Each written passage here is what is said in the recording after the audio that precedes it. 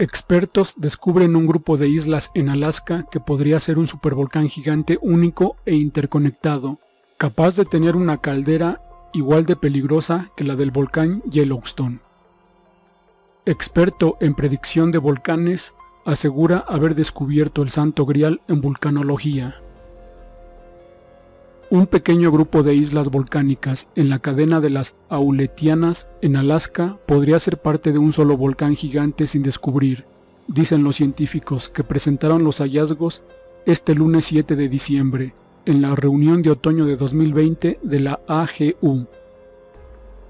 Si las sospechas de los investigadores son correctas, la caldera volcánica recién descubierta pertenecería a la misma categoría de volcanes de la caldera de Yellowstone y otros volcanes que han tenido supererupciones con graves consecuencias globales.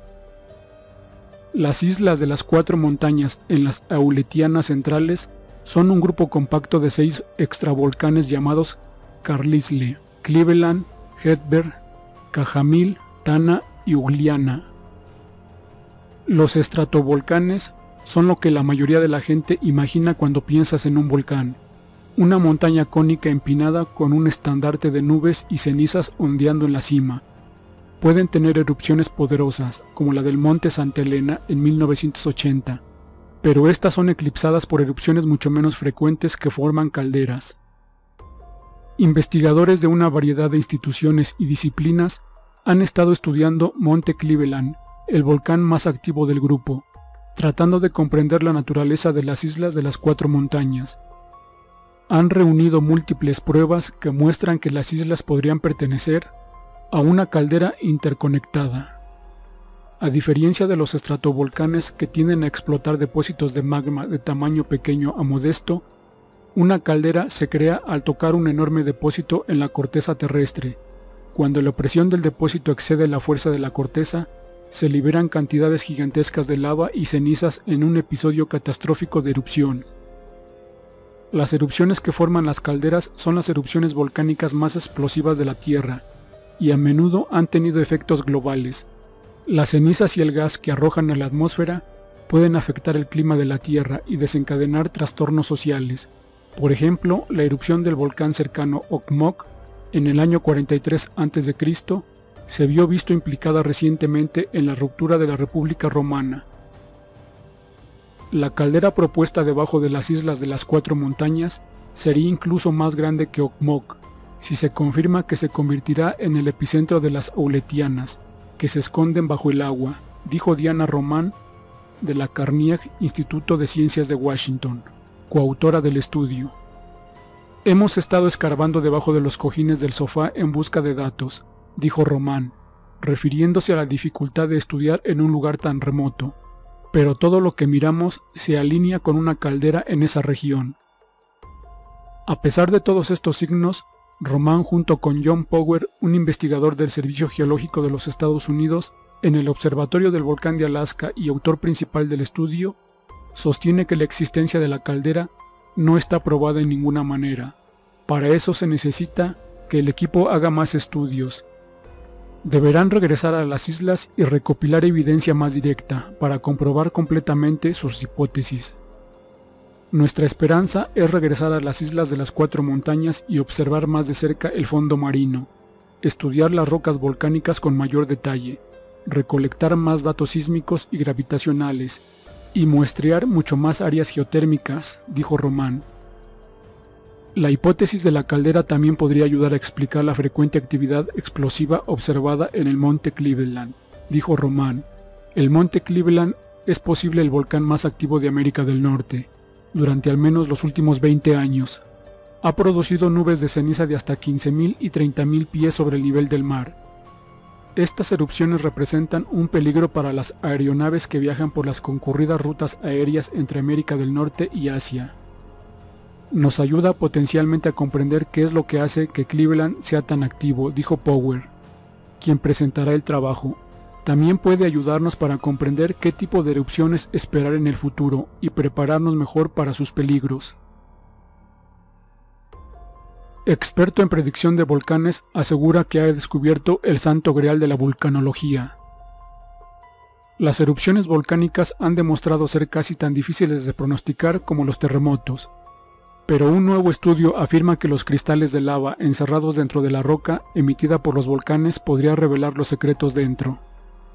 Los antiguos cristales de lava que una vez surgieron de los volcanes finalmente pueden revelar secretos sobre cuándo puede ocurrir estas violentas erupciones, anunciaron los investigadores. Los volcanólogos analizaron los cristales formados dentro de la roca porosa arrojada por el volcán Kilauea en Hawái en su erupción en 1959. Y los expertos en los volcanes creen que la forma habitual de estos cristales, cuando se combina con simulaciones informáticas de vanguardia, pueden pronosticar erupciones.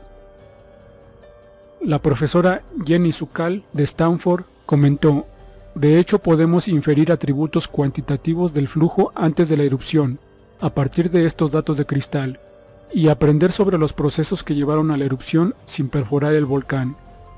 Ella agregó, eso para mí es el santo grial en vulcanología. Los cristales de tamaño casi microscópicos fueron descubiertos sepultados en lava después de la erupción del Kilauea. Un análisis de los cristales reveló que estaban orientados en un patrón extraño e inesperadamente consistente. Los investigadores de Stanford pensaron que estos patrones fueron creados por una onda dentro del magma superficial, que afecta la dirección de los cristales en el flujo.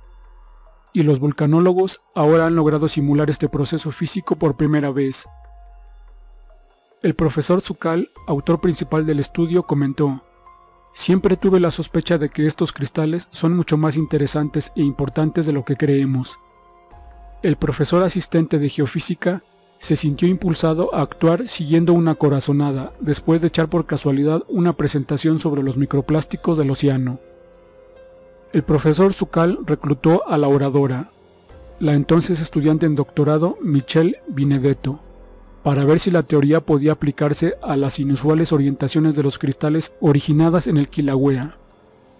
Los investigadores analizaron los cristales de la roca escoria oscura y porosa que se forma al enfriarse el magma que contiene gases disueltos.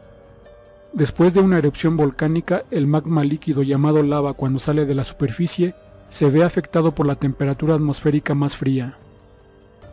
En consecuencia, atrapa rápidamente las burbujas y los cristales de olivino, naturales en su interior. El proceso ocurre tan rápido que los cristales no pueden crecer, creando así una especie de cápsula del tiempo que detalla lo sucedido durante una erupción. La nueva simulación se basa en las orientaciones de los cristales de Kilauea Iki, un cráter junto a la caldera de la cumbre principal del volcán Kilauea.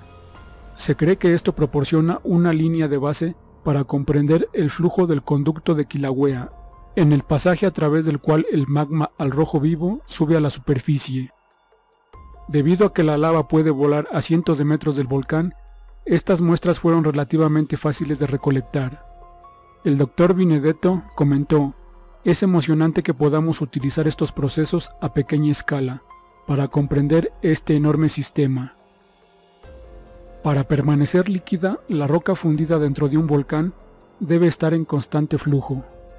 El análisis del equipo indica que la extraña alineación de los cristales fue causada por el magma que se movía dentro de dos direcciones, con un flujo directamente encima del otro, en lugar de fluir a través del conducto en un flujo constante.